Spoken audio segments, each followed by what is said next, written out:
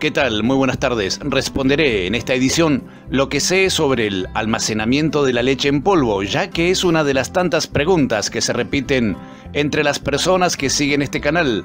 Hace unos años mostré en esta edición cómo hacer queso con leche en polvo, porque si hablamos de almacenar para muchos años, muy pocos quesos llenarán tus expectativas, pero si almacenaste leche deshidratada, podrás saborear quesos frescos cuando quieras.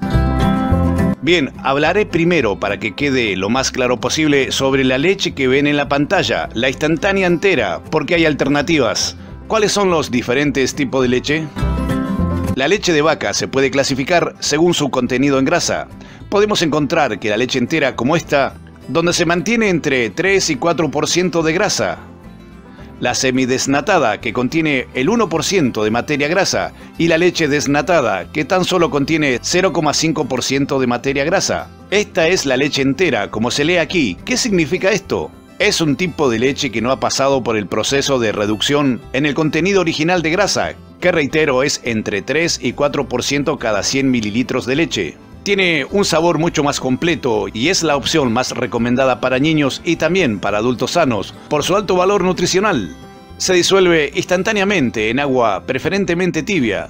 Te sorprenderá gratamente su sabor si es que hace años no bebes leche. Este producto ha mejorado mucho con el tiempo. Para ir al grano lo más rápido posible, creo que es la más usada. Algunas empresas añaden solo vitaminas A y D3. En esta, por ejemplo, se han esmerado un poco más. Tiene vitaminas A, D, C, B y B5. Además, dice tener ácido fólico. Llevemos esta información a un escenario donde los alimentos sean escasos. ¿Qué hace el ácido fólico? Es una vitamina del complejo B9 que es fundamental para prevenir enfermedades degenerativas como la diabetes, cáncer de mama, cáncer cérvico-uterino, cáncer de próstata, presión arterial, además de ayudar al organismo a crear células nuevas. Por eso la importancia de leer el envase de lo que estás comprando. No todas son iguales, algunas son más pobres y otras más sustanciales. Tu cuerpo necesita calcio para que los músculos se muevan y los nervios transmitan mensajes desde el cerebro hasta las distintas partes del cuerpo. Además, el calcio ayuda a que la sangre circule a través de los vasos sanguíneos por todo el cuerpo y a liberar hormonas necesarias para muchas funciones del organismo. Hay más, pero lo dejaré ahí. ¿Y qué hace este mineral? Se encuentra en cada una de las células de nuestro organismo. La mayor parte del fósforo está en los huesos y en los dientes, y otra parte en los genes. El organismo necesita fósforo para producir energía y llevar a cabo muchos procesos químicos importantes. Aquí dice también que tiene vitaminas. La mayoría sabe que las vitaminas son buenas, pero no saben por qué. Sin estos nutrientes, el cuerpo produce glóbulos rojos que son demasiados grandes y que no funcionan adecuadamente. Esto reduce su capacidad de llevar oxígeno. Los síntomas pueden incluir fatiga, falta de aire y mareos. No querrás estar así en un tiempo donde se requiera estar alerta. Insisto por este motivo que consideres que si vas a almacenar leche, que trates de almacenar algo que valga la pena. Quizás sea mejor menos cantidad, pero más calidad. Las vitaminas también participan en la formación de hormonas, células sanguíneas, sustancias químicas del sistema nervioso y material genético. Finalmente, también tiene proteínas. Nuestro organismo necesita proteínas de los alimentos que ingerimos para fortalecer y mantener los huesos, los músculos y la piel. Lo menos que necesitas en escenarios de supervivencia es tener huesos frágiles o músculos atrofiados. Por otro lado, en la esquina derecha, el fabricante aclara que estos 800 gramos de leche en polvo pueden garantizar hasta casi 6 litros y medio de leche líquida, con lo que puedes hacer un cálculo estimativo considerando cuánta leche consume tu grupo al día. Si hay niños, el consumo será mayor. Pero el cálculo es muy fácil. Si consumen un litro de leche al día, esta caja alcanzaría casi para una semana. ¿Cómo sé que la leche en polvo no se arruinó? Indicadores sensoriales. Para detectar cualquier señal de advertencia de deterioro, deberías considerar el color. La leche en polvo fresca suele tener un color blanco y cremoso. La aparición de un color amarillo a menudo sugiere degradación. Textura. Debe fluir libremente. Si notas grumos, es posible que se haya introducido humedad, lo que podría provocar su deterioro. Olor. La ausencia de olor es típica de la leche en polvo fresca. Cualquier olor, especialmente uno desagradable o que se parezca a la leche agria, es una señal de que el producto puede haberse vuelto rancio. Sabor. Si bien no siempre se recomienda realizar pruebas de sabor, especialmente si hay otros signos de deterioro, un sabor rancio o un cambio notable en el sabor puede indicar que la leche en polvo ya no es apta para el consumo. Para esto te aconsejo que practiques la rotación de los alimentos. Básicamente es revisar lo que has almacenado cada cierto periodo de tiempo. Y si el producto está cerca de la supuesta fecha de caducidad, cualquiera sea el producto, consúmelo y reemplázalo por otro igual. La rotación es obviamente más que importante para saber qué alimentos están por caducar según la fecha impresa en el envase. Te recomiendo escribir las fechas en cada lata para saber cuándo rotarlas o cambiarlas por otras nuevas e ir consumiendo las antiguas. De esta manera debes hacer con todo lo que tengas en tu despensa casera.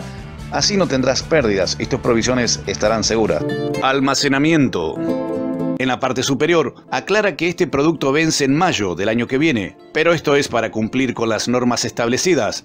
Los preparacionistas sabemos que los alimentos duran más de lo que recomiendan los fabricantes. Hace un tiempo expuse una prueba de esto, pero con medicinas, que la industria jura duran un año. Los militares comprobaron que aún estaban en óptimas condiciones después de 15 años. Y esa información está en este video.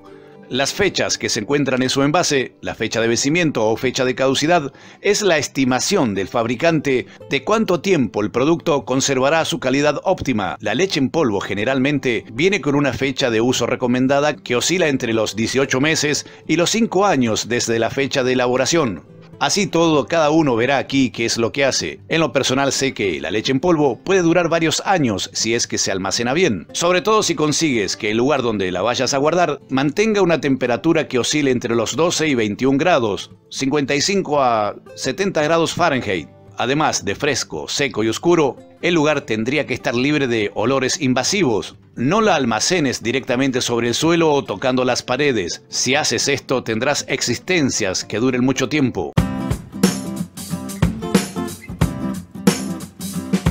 La mayoría de la leche en polvo que se comercializa casi no tiene grasa. Esto no la hace ideal para muchas recetas porque la grasa de la leche es lo que hace que muchas recetas sean espesas y cremosas. Es probable que un paquete de leche en polvo sin abrir mantenido en un ambiente fresco y seco, siga siendo utilizable durante años, desde 2 hasta 10 años en algunos casos. Una vez abierta, es recomendable transferir la leche a un recipiente hermético y utilizarla dentro de unas semanas para mantener una frescura y calidad óptimas.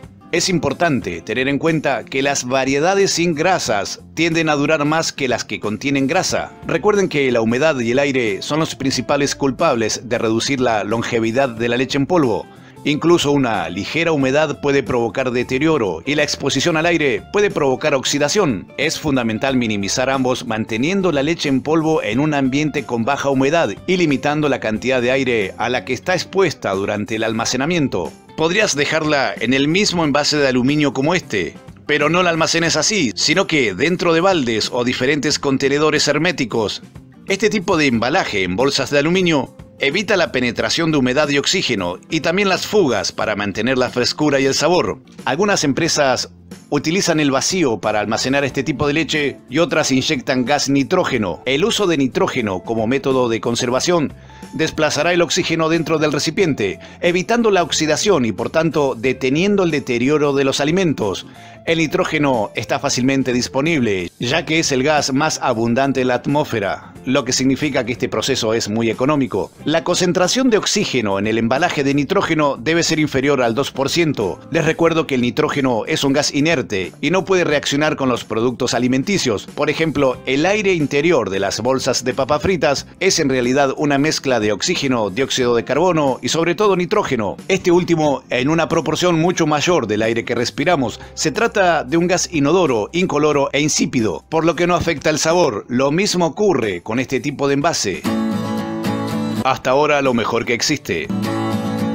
El envasado más efectivo que conozco para este producto lácteo es el de envases de hojalata. A estos se le añaden cierta cantidad de dióxido de carbono. Suelen aplicarle a este tipo de chapa una capa de estaño ya que el acero se oxida. La principal razón para utilizar latas de metal es su excelente resistencia física, durabilidad, propiedades de barrera absoluta a la humedad, al oxígeno y a la luz, ausencia de sabor y rigidez. Debido a que este tipo de hojalata es susceptible a la corrosión, normalmente se recubre electrolíticamente con una capa muy fina de estaño. Además, se aplica una laca orgánica para proteger aún más el metal de la corrosión y evitar el contacto metal-alimento. Otra de las virtudes de este tipo de envase es que ofrece un cierre hermético perfecto. Almacenar leche de esta manera te garantiza que la tendrás cuando no haya disponibilidad, a no ser que tengas una vaca o una cabra a mano pero incluso si tienes animales, eso quizá te ponga en el radar de personas necesitadas. Sé práctico, trata de almacenarla antes de confiar en una fuente como esta, que podría ser robada o generar momentos críticos. No olvides que será vital en momentos donde la nutrición sea crítica. También podría ser un excelente artículo para tener a mano pensando en el trueque.